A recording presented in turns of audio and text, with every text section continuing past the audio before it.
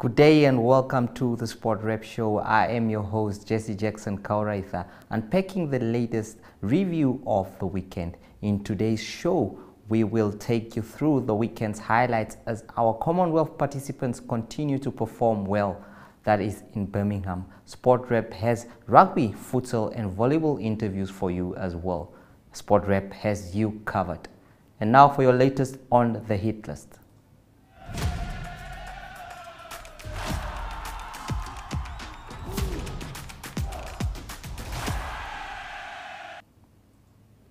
Football consultant Olsen Kahiri says it is important to have many Namibians playing outside Namibia as this contributes to the development of the game in Namibia. He has however noted that it is critical that these players obtain rep representation to protect their interest. He made the comments after successfully signing the striker Beto Mothieu to South African First Division club Black Leopards in a country that has not had an active league for four years, of which we do not foresee active football in the next four to six months because we have not seen any blueprint. It is important for players to join clubs outside the country.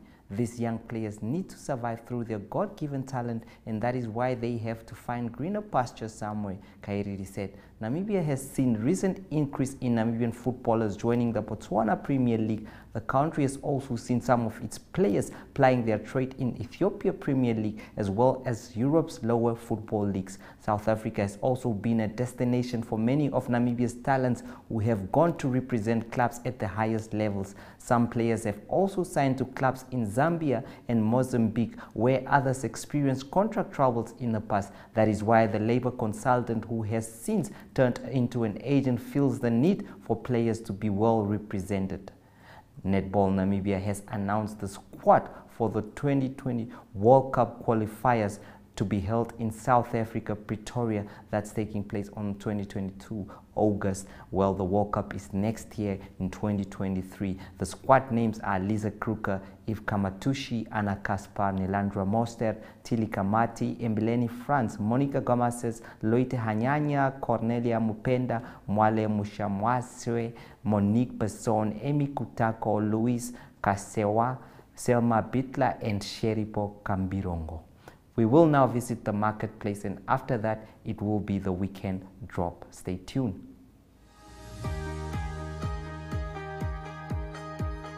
The Regional Review brings you news, views, and interviews from NMH correspondents from across the country.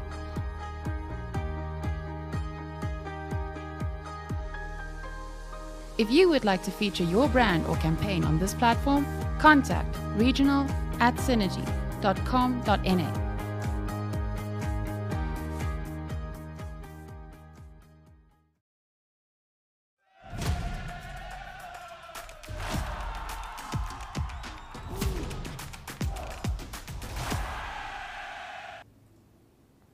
Namibia's Helalia Johannes says the future depends on the reaction of her body after scooping a bronze medal in the women's marathon at the Commonwealth Games in Birmingham, England. The 2022 Commonwealth Games bronze medalist Helalia Johannes will decide on her future after consulting with her coach Robert Kukawena.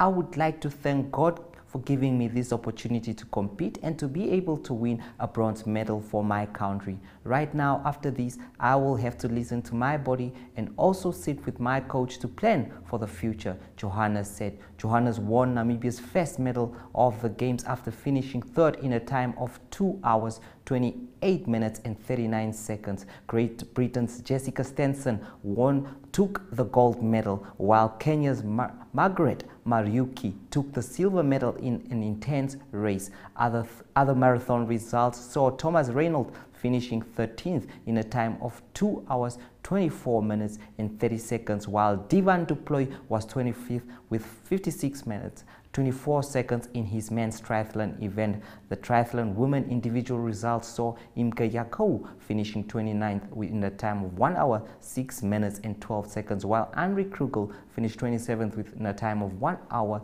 5 minutes and 56 seconds while Ronald Vantera, Ronald Vantera was fourth in his 100 meter breaststroke heat, clocking 1 minute 03 seconds, while on Saturday. Alexander Skinner, on the other hand, was seventh, clocking 50 minutes and 40 seconds in the men's 100 meter freestyle. That is 50 seconds and with 40.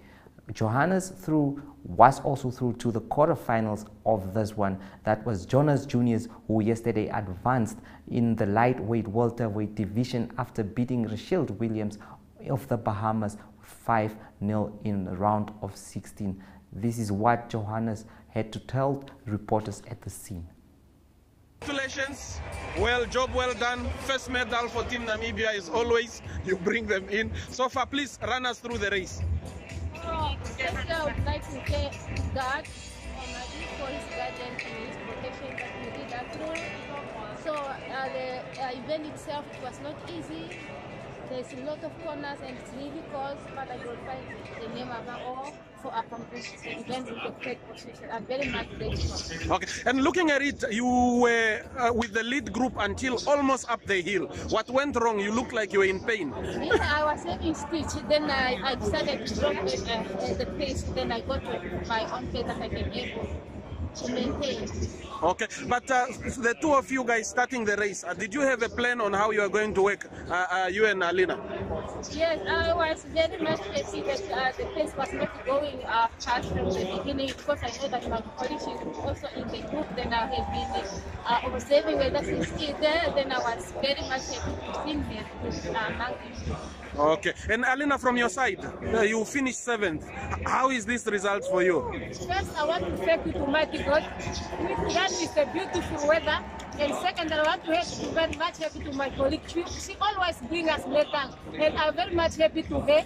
She, she, she seriously, she, she, uh, she helped me too much from one kilo up to 25, if I'm not mistaken. I much happy from there. I know she, I was make it because she left me behind almost maybe 17 kilo to push And I'm very much happy to be number seven. It's not easy. Yeah. And that's just my best event. Okay, and, and uh, so far for yourself, other competitions that you are looking forward to, apart from the Commonwealth, uh, Helalia? Yeah, it will depend on uh, their reaction for uh, towards my board after this event. Because, and uh, I don't know what there's a plan ahead. I will go and sit and listen to my board uh, for the plan. That's it for me. Okay. Yeah. But thank you very much for bringing the first medal home. Thank you so much. Swakopmund Football Club were crowned champions of the Ongos Valley Winter Cup after beating Quality FC in the final. Futsal Namibia founder Andre Tirtirao has expressed gratitude towards everyone that made the Ongos Valley tournament a success. The tournament took place this weekend at the Windhoek Showgrounds with Swakopmund Futsal Club beating Quality FC that is 7 goals to 5 in the final. Swakopmund FC received a check of 5000 for winning the Futsal Winter Cup. The tournament saw 22 teams competing for the top prize in an electric atmosphere at the Windhoek Showgrounds. The Galacticos finished third while Devon Demency won the Shield competition. Ongos Valley came in second place of the Shield Cup while Alice Zuzeman took third spot. Andre Titrao has more of this. It is a very great atmosphere here at the Windhoek Showgrounds. Um, indeed, a special location. We have seen special matches today. Um, a wonderful tournament. Will you say this tournament was a success? Definitely, this uh, this cup uh, sponsored by Ongos Valley, uh, which is right behind me here, has really been a success. We managed to, to, to sell out all the spots, 22 teams in about two days. So the interest was there. The atmosphere for the past couple of days uh, today has been tremendous. Um, the teams have showed up. There's a lot of team spirit, a lot of really cool fans, lots of noise, and very good futsal. So that's a good sign. Yes. Um, we saw the, the, the, the Express Credit tournament that took place, and now we are seeing another tournament of from Ongos Valley. Yes. Um, so has the interest been growing here in the sport? Definitely. So, so this is a, a cup in between the two leagues. So the Express Credit uh, Winter League, which which ended, uh, there's, a, there's about a month and a half break. So this gave the, a chance to new teams, but also teams that are in the current league to be able to just play, uh, you know, really fast and and really challenge themselves against other teams. Okay, so what are we looking forward to for the season itself? Um, I mean, when the league starts? So we've had so much interest. Uh, I, I, think uh, I think we're going to reach about eight, nine hundred players uh, that will join our, our summer league, which start in, starts end of August. Uh, we have 16 Premier League teams. We're, we're, we're, going to have 32 teams in the first division. We're going to have uh, an under 17 ladies and male division, and of course the ladies first division, which will now be 10 teams. Okay. Um, have you got a sponsor for that? Express Credit has committed to, to being a sponsor for that as well. Uh, we are constantly looking for for uh, uh, more sponsorship. We are looking to start an academy. So there's a lot of there's a lot of moving uh, elements to the to the equation. Okay, since the last time we've spoken, um, I can hear the numbers are just increasing in terms of the interest. Um, what do you think has been the major drive towards this? I think I, I, the, the, common denominator amongst uh, amongst everybody that talks about futsal is the fact that it's a league that's really well organized. Uh, it's it's a league that gives a chance to players to, to, to play football, to play futsal, to really be exposed to the real futsal rules, and, and be part of a structure that, that we're very uh, very strict about. Okay, how much did the teams today take the winners? Uh, the first place of the cup takes five thousand uh, dollars. Second place uh, three thousand, and, and third place two thousand. Mm-hmm. Uh, we have prizes for top goal scorer, uh, best goalie of, this, of, the, of the cup. Uh, we also have an exhibition match that's that's that, that's coming up for the ladies from the first division. so so there's a lot of things happening. happening really uh-huh. cool entertainment. Yeah. Mm-hmm. All right. Thank you so much, Andre. Thank you. Up there was the Galacticos in action well, as you can see, very, very tough competition they had um, in a very, very big, big competition against Swakopmund. Swakopmund were the winners on the day. But as you can see, Swakopmund was showing that they are capable of keeping the ball and possession play there. Wonderful skills displayed from the Swakopmund team that eventually became the champions of the competition against Galacticos. Galactico player there pushing onto the right side. Very, very wonderful display of skills from the players. And the fans quite excited about the competition that is the 2022 Futsal Ongos Valley Winter Cup. More action there great control of the ball.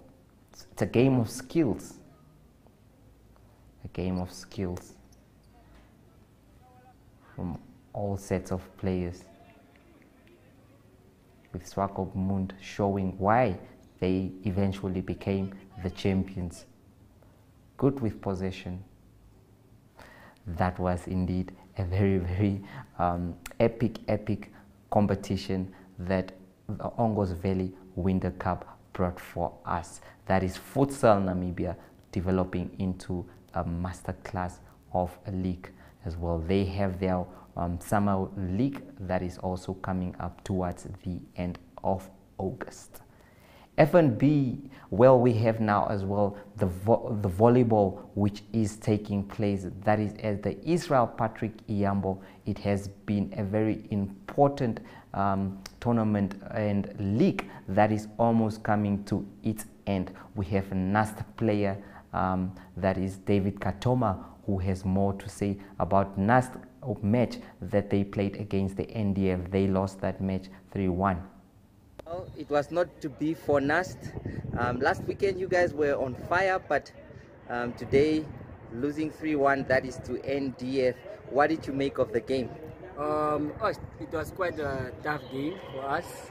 Um, I don't know what my guys did yesterday. it was really they were not on their top notch as usual. You know, uh, we didn't play well today, but we keep pushing, we keep pushing. We train hard to come back strong. Okay, come back strong. Well, um, was it so? You say was it about tactics today, or was it um, the preparations before the match?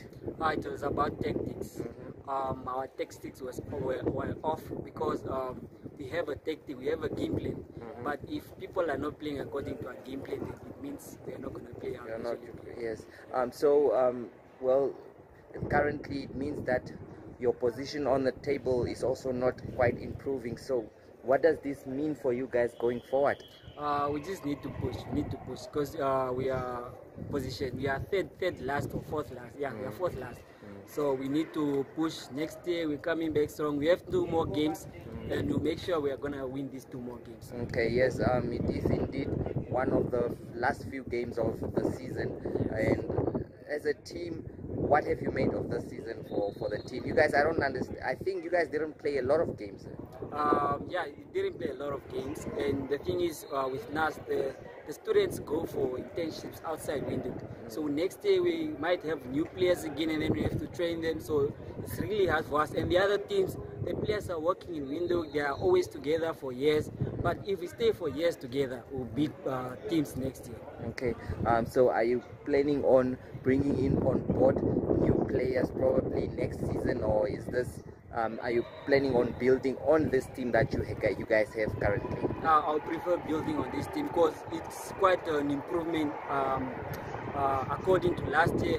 This was not our improvement. Last year we came last in the league, but at least this year we came uh, for, we are fourth last. So this is a very very big improve, improvement, and I'm working to keep working with these guys because if we the more we work together, the more you get to know each other, and we'll beat teams next season. Mm-hmm. Last week um, we mentioned about how important this whole volleyball season has been, and we are reaching almost um, obviously the most important phases now that teams are challenging for it. But what have you made of the whole season in general in terms of the support and all? Um, volleyball is really a great sport, as I say.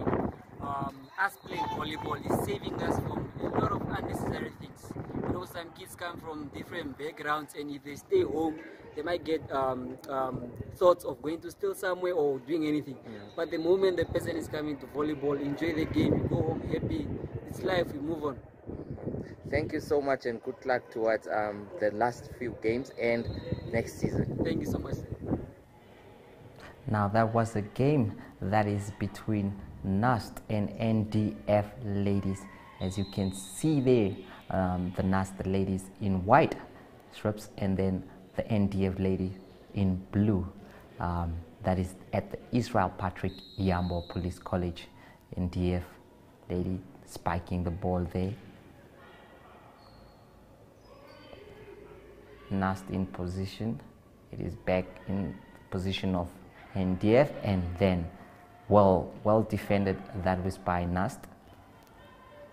Back in position with that is well defended again by NUST, but NDF managed to get that one there celebrating as you can see NUST number 15 player Dorothy Nambaho who is also the coach for the NUST men's team. She is the assistant coach and the vice chairperson of that is Namibia Central Volleyball League. She was in action there. These are some experienced players and again NDF dominating that one there. So it was indeed a very special occasion for them there. Well, FNB University of Namibia, UNAM, outclassed bottom of the log FNB Reho Falcon on Saturday with a runaway 88 to 7 win. UNAM consolidated their third position of the league standings, running into 13 tries to just one by the visitors. In other matches, FNB Western Suburbs made convincing comeback after the previous weekend's loss to FNB Wanderers, beating 31-17 at the Hage Geingob Stadium. Grootfontein challenge for a top four spot came up short despite leading 7-5 at halftime as Kommersdal team took in over the second half. At the coast, FNB Kudu pocketed a 22-15 win against Wanderers, the host managed to score three tries, two conversions, and a penalty in a hard-hitting, adrenaline-fueled game. We have some of that is the table there for you. As you can see, Kudus in the lead. It looks like it is going to be an historic finish that is from the team from the coast. They have been wondering when are they going to bring the glory days that is at the Kudus um, Bay, but they are now on a brink of bringing that. However, you can see FNB Wanderers are just there lingering in second position, just four points behind, and Western Suburbs um, in fourth, while you can see also UNAM, um, some of the teams that have always been dominating this league in third position there. We have some highlights prepared for you. Sit back, enjoy.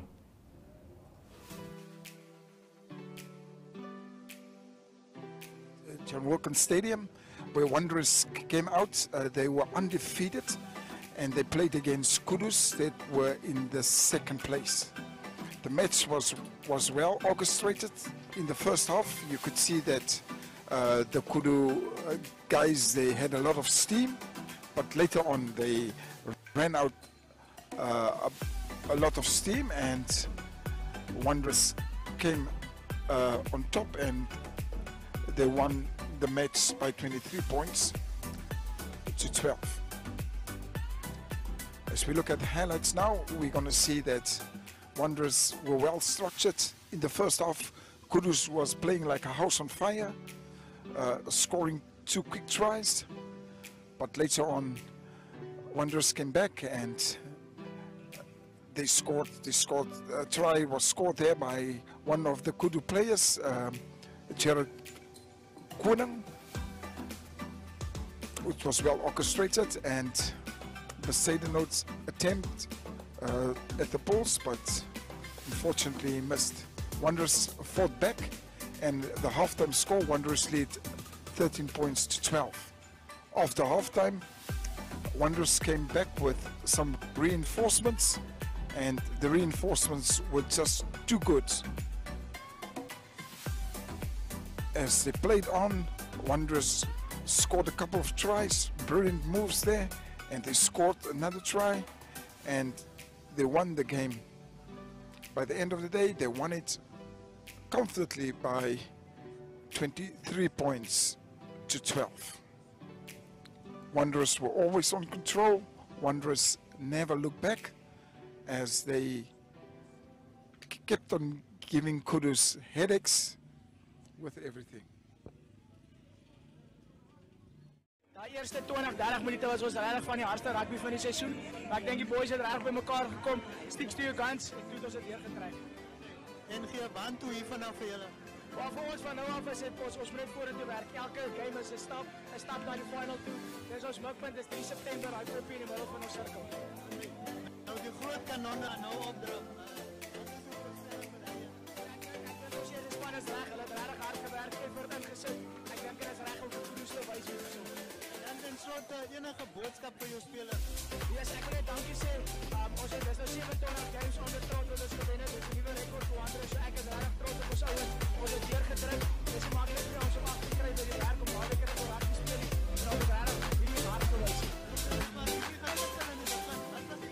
Ek dink dit was net dit was van die hardste kompetisie. Die bus ry vanoggend 6:00 van 6:00 die oggend in die bus. Dis staf. Ek dink ons was bietjie pak op ons voete. Um en en Kudus was wel Then we start with the Premier League, where Kudus is on top of the log, and they face off their main rivals, Wanderers.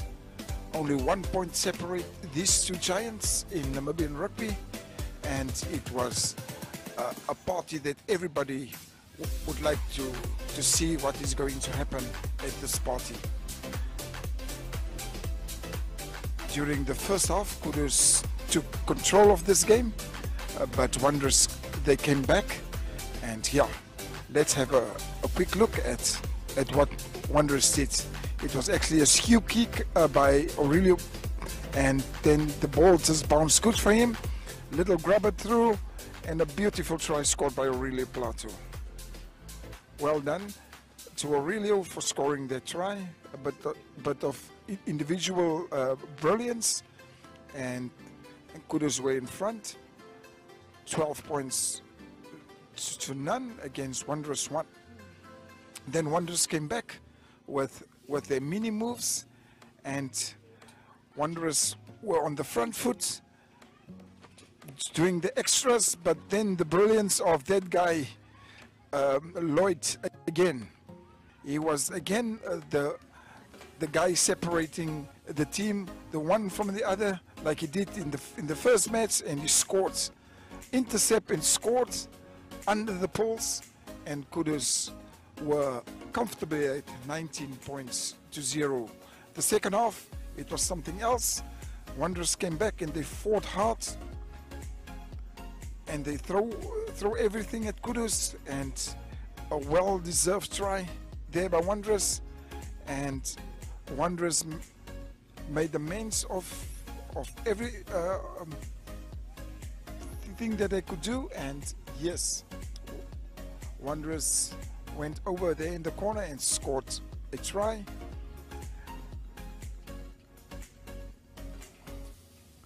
Prove he set off for the conversion and he missed and the final score 22 points to 15. Kaptein, beblou onder kaptein, hoe gaan dit? Right, ons is net 'n bietjie moeg. Hoe was hierdie wedstryd vir jou? Jong, is baie taaf geweest. Ons weet Wanderers wou kom met 'n met een pijn in ons verwacht in de eerste 30 minuten. Maar en het helemaal gekomen met iedereen. Zeg van mij, wat zal je graag voor die Scarabo zijn? Zullen ik dankjewel zijn voor allemaal dat gekomen met de support. Ons waardeer het bij je. Het is lekker om al die te spelen. Hoe span, maat? Jo, dank jongens dat jullie jullie leven op die spel gezet. Waardeer het alles. Jullie moest uh, voor die grootste gedeelte van die tweede helft zonder jullie kaptein klaarkomen. Wat, wat is hier in koppen gegaan eigenlijk? Ja, gedink, ons weet niks fout te hou nie. Ka- Compose nou en net werk vir mekaar is al. Wat wat sou jy sê was julle uh, suksesresepie vir hierdie wedstryd? Ek dink ons het saam gestiek. Dit alles gewerk. Ons het mekaar uitgestel nie. As daar foto's is, het gewerk. Heel goed, heel goed. Ek dink dit het help. Wat sou jy vir Wanderers wou sê? Jo, dankie jongens dat julle 'n goeie game vir ons gegee het. Want dan kry julle daai kan weer. Baie baie dankie. Okay, so with us the captain of uh, Western Suburbs, Gino Wilson. You just beat uh, Grootfontein. Um, so you had a knock against the head early in the match. Um, tell us a bit about that. Um, uh, it was in the first, like in the first minutes of the game. Um, the first thing I thought, like going to try and knocking my head, was like a concussion in the first minute. I was like, I cannot be concussed right now because like, this is a big game for us, uh, and we need everybody. So to make a substitute in the first half would obviously put us on the back foot, uh, but luckily I was fine. It was just a, a knock against the head. Okay, so you scored five tries today, um, so got a bonus point.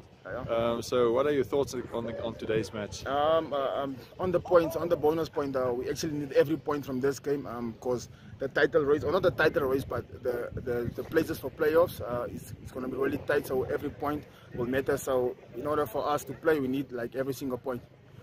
And the performance, uh, what do you say about that? Um, I'd just like to say, first of all, thank you to Hoventon for traveling this far and uh, playing us. Um, to my boys, um, we know what we did good, what we did bad, and what we need to work on. So, obviously, just back to the drawing board on Monday and uh, be ready for the game on Saturday against Rebot.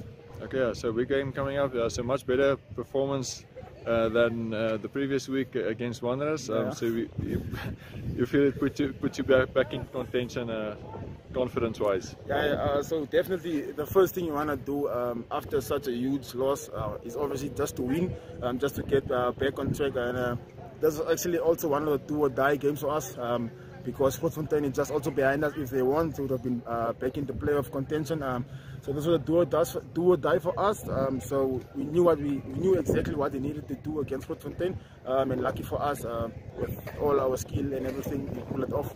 I say, well done. Thank you, for Poma. Right. So with us we have uh, Vikas Jacobs, the captain of uh, Grootfontein. So you just lost this match against um, against Western Suburbs. Um, so uh, your thoughts on the game? Uh, Andrew, uh, first of all, I would like to say thanks for Kudus. I uh, thanks for uh, Western Suburbs. Uh, they gave us a very, very tough game. We were in the game, let's around about until the 60th minute. Uh, like I said previously, lack of concentration and a bit of unfitness cost us the game at the end. Okay, you've had some injuries this uh, this season. Um, maybe not your best performance today. How, how do you feel about? Yeah, like I said, like I said previously, it's, uh, it's also another excuse. Uh, unfortunately, this year we got a, we suffered a lot of injuries, uh, and that caused the, the, the, the core of the squad to be thinned out as well. But uh, it's back to the drawing board next week. Kuru's at home, and we're gonna fight until the end. I say, good luck. Thank Thanks. The fourth leg of the Namibian National Long Track Championship on Saturday at the Tony Rust racetrack provided exciting races between Richard Slamet, Max Sternagel and Alan Martin in the supercar division. Although Martin experienced a tense moment on 25 June during the third leg at the same venue when the brakes of his Golf 5 failed at top speed, he was back on the track over the week weekend. At the time, he tried to slow before a sharp left turn, but his brakes had failed and he had to supply the handbrake his, on his Golf 5, which hit the tire guardrail, flew through the air, spun several times, and came to rest outside the track. The end result was an unconscious Martin, a broken rib, several bruises, and out of out of action for a while. But however, he bounced back this weekend and he was in action. These, the results for this one was the supercar was won by Slamet Sternagel and Martin, while the clubman class B was Michael Rust, class D was Ewald Bischoff, Wayne Rust, Michael Stradom, class X Henosh Bischoff. We have now Sternagel on for the race. Mark uh, you're back on track. Uh, your next race in motocross is next weekend at Galena. But in the meantime, you've done some long course racing, and today yeah, Tony Rust you did well again. Um, you're looking forward to motocross again? Uh, yes, definitely. It'll be uh, almost a year since my injury, and it'll be my first race back after the injury. So, definitely very excited to be back on on the motorbike and uh, racing again with everyone. Mark, you got injured last year, August, in Wel Welkom with a freak accident. Tell us about that, please. Uh, yes, I was in Welkom Racing in South Africa. Um, in the first heat, I think lap three or four, I had a very silly crash actually, um, and then I broke my right femur, uh, left shoulder, and collarbone.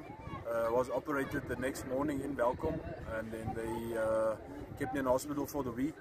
Uh, I was flew, I was flown back to um, Windhoek uh, that Friday, and uh, yes, it was a long recovery. I was about two months in the wheelchair and uh, struggled with biokinetics, and then the, uh, my leg didn't want to grow, and then I had another operation on my shoulder, and uh, yes, so it's been a, a long while, a long road to get back onto the bike, but definitely worth it.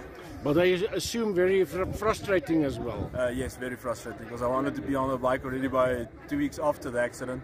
And then, uh, yeah, it took a while for me to realize that I'll be out for longer than expected. Uh, so, Mark, uh, we invite all people next week to Galena for the for your first race, and you've been uh, the Namibian champion uh, numerous times in the past. it's been a while. But uh, this will be your your first race, and you're looking forward to it as well, Nick. In what class are you going to race? Uh, I'll be racing MX Open and then King of the Dirt. Uh, King of the Dirt as well. Uh, uh, Mark, today here at um, uh, I can't say you really that you were really flying. It was more than flying with that BMW. How did the, wind, the race went and so on? Uh, it was a very successful day. Um, I managed to beat my track record uh, that I had. I drove a 63.7 and then E2 a 63.5. Um, that's international track, uh, track record now for me and for the track. And uh, it was very successful. E2 I accidentally or sadly got a left rear puncture but um, we fixed that and then uh, E3 I won again. So it was all in all a successful day. Yeah, I saw you lumping past us there at the, at the top with, with that flat tire. But Mark, thank you very much and uh, good luck with your, your, your future races and the career and so on. Thank you very much. Okay, that's a wrap here at Rest today. Uh, after a successful day of racing that uh, Mark Sternberg, Sternberg uh, overpowered everybody in his BMW. Next week he will be seen at Galena Motocross. Uh, his first race of the season and almost after a year that he suffered that horrendous accident. Well, that was Tilman van Lille who had compiled that for us. You can see he's a man who loves speed and adrenaline. Well, Brian Munango is on after the break. Stay tuned.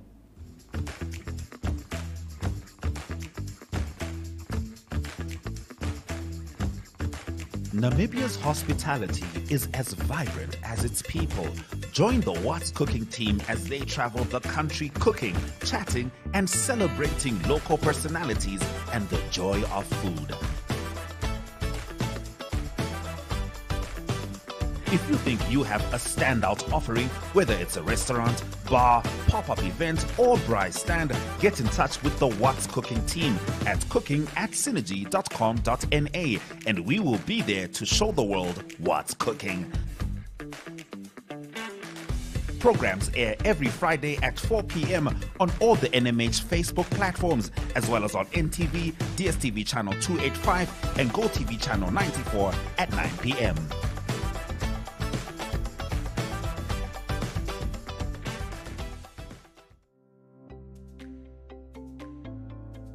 Straight Talk is a debate competition for high school learners and a spelling competition for primary school learners, mostly focusing on current affairs among the youth. Contact Zone at synergy.com.na to share your products and services. Straight Talk. Don't raise your voice, improve your argument.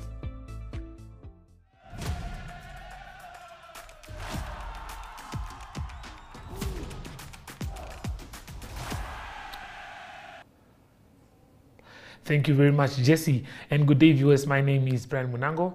And here on Spotify, so we focus on what the youth are busy with in sports.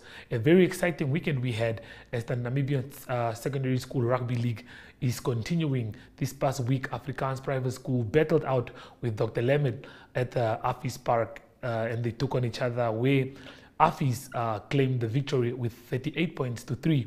Dr. Lemmer came out strong, but the Afis Park boys proved to be too strong. Stay tuned for the highlights.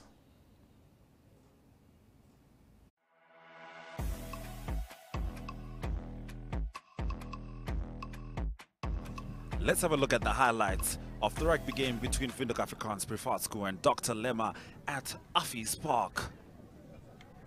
Saturday, 30 July. It was a beautiful, beautiful space because of, well, the sun, the wind, the place, the audience, everybody here was here for some good old rugby.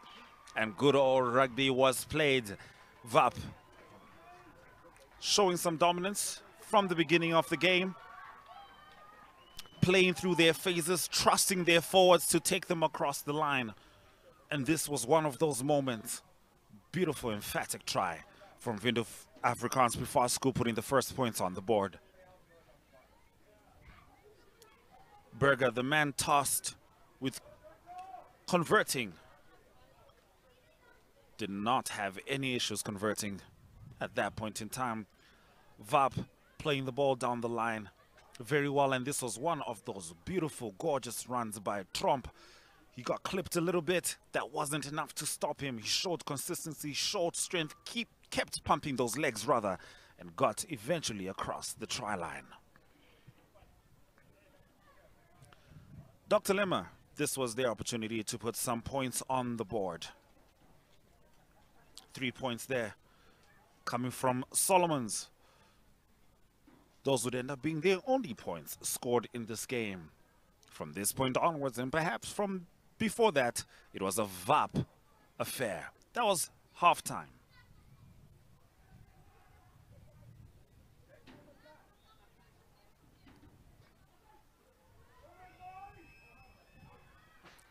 Looking at the second half, VAP once again showing some consistency and this was a beautiful, beautiful dummy try by the other Trump brother, showing a lot of pace. Wow, these boys really pumped their legs and VAP was playing through their phases and their phases were paying off, trusting the forwards when they needed to, trusting the line when they needed to.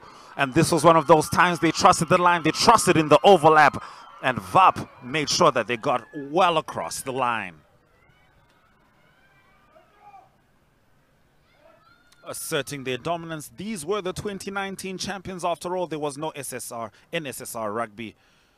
This was one of the more difficult kicks for Berger. But it wasn't difficult enough to stop him from converting. NSSR wasn't played in 2020 and 2021. This is the resumption of the league. And VAP is saying they are still here. And this time, it was this beautiful, beautiful play. Showing consistency, getting across the line with energy, with poise. Beautiful rugby from Windhoek Afrikaans Privaat School. Berger once again stepping up to kick. This kick, however, not going quite as well as you'd have wanted it to. And VAP kept the pressure, kept the consistency, and this time it was the captain, Van Veek, making sure that he got a share of the spoils. Scoring that try and taking the scoreline all the way up to 43.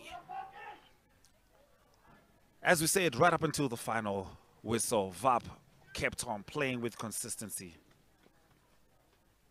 And this was one of those tries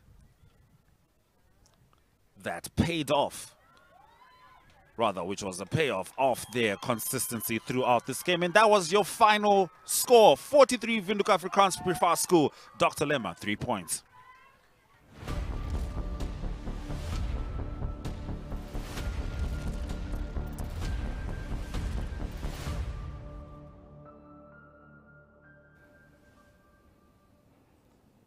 Well, the Super League champions, uh, defending champions, showed to be way too strong with some beautiful layoffs. We had a few other results during the weekend. Uh, look at as we look at the log, as you guys can see, VAP uh, put on a brilliant performance and won against Dr. Lemmer. Moria also put in a great performance in Ocho as they tried to get a win against Windhoek Gymnasium, but Windhoek Gymnasium proved a little bit too strong there. Pro Ed uh, was the shock of the week as they won Walvisbay Private High School by two points at their home ground. And with that, we still have uh, rugby that's coming to you Wednesdays and Saturdays, so you guys should stay tuned for the Super League. With that, we move over to international news with Ari Had. Stay tuned.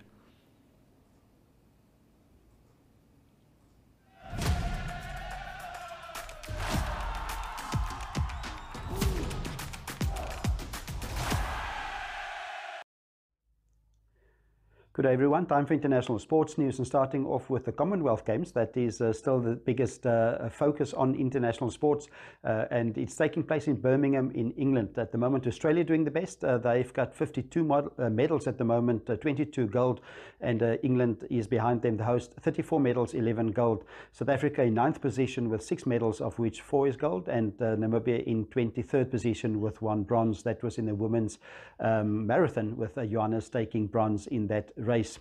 So uh, let's look at some of the results uh, or talk to some of the Namibian uh, athletes as well or listen to what they've said.